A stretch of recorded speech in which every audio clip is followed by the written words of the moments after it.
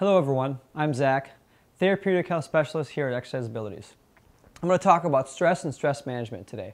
So currently, we are all experiencing a very stressful time, whether it's um, working more hours in the medical field, uh, being stuck at home, uh, not being able to go to school or enjoy some of our extracurricular activities, a lot of us are experiencing a fair amount of stress. And now more than ever, it's important that we focus on stress management and stress awareness. Um, it's very easy to give in to the temptation of sort of giving into the stress and letting those old unhealthy habits creep back in. So the first thing with stress is mindfulness. We have to bring awareness to our day to day, okay?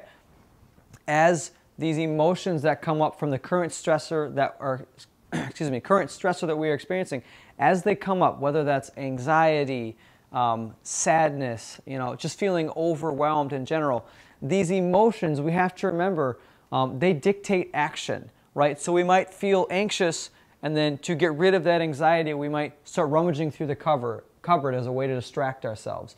Or we might start feeling kind of down, and so instead of doing our exercise, we sit on the couch and just watch Netflix. But again, we know that that's not healthy, and now more than ever, we have to maintain our health.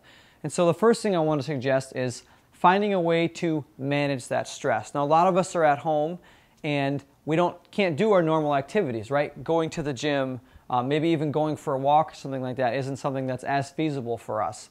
And so we need to find a quick exercise that we can do to manage the, um, those stressful thoughts and feelings. I think meditation is a fantastic way to do that. Some of us have never tried it. Maybe some of us don't know how to do it or we're not really into it or sure about it. And the other possibility could be being at home with all of our friends and family means that we don't have a space or a quiet place to go to do it.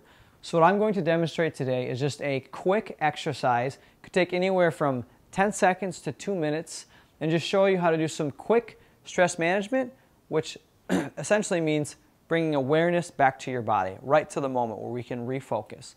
So again, if we find ourselves in a state where we start to feel overwhelmed, we start to feel rushed or very worried, concern, whatever it might be, those emotions start to run away with us, the first thing we want to do is just stop. Whatever we're doing. If we're looking at our phone, um, you know, maybe we're even cooking dinner or something like that, stop. You're going to take a nice deep breath in your nose, hold, exhale out. Again, I would inhale for about a count of two to three. Exhale out for a count of about four to five. Now, again, if you feel like you're still getting a little bit lost in thought and you're struggling to sort of maintain that, that mindfulness or you feel those thoughts running away, try to find some way to anchor yourself. So maybe that is a hand on the belly and you can physically feel the breath enter your body. Right as I breathe in, my belly raises. As I exhale, I can feel my stomach contract and crunch back down. If that's not working, we can always bring mindfulness to the body as we focus on those deep breaths, breathing in, breathing out. We can do a body scan, right? Starting at our toes and just noticing our toes, the midfoot, the heel, noticing our ankles, shin, knees, all the way up to the top of our head, right? Just bringing awareness to every single muscle in the body.